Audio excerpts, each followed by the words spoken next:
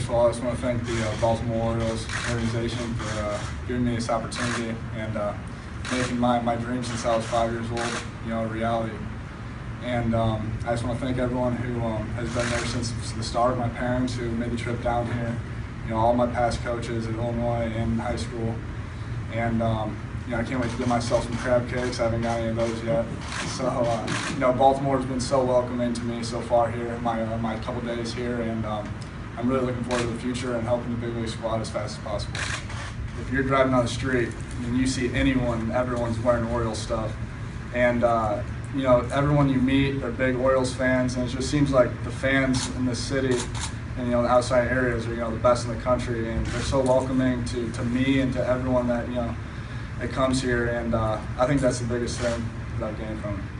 Well, you see like our my college team this year at Illinois, we um, we didn't make the Big Ten tournament this year, so it's been let's see, today's Friday. It's been a, a month and a day since I pitched last. And uh, you know, ever since then, you know, I, I just want to get back on the mound as quick as possible, and um, you know, get in the system and uh, just work.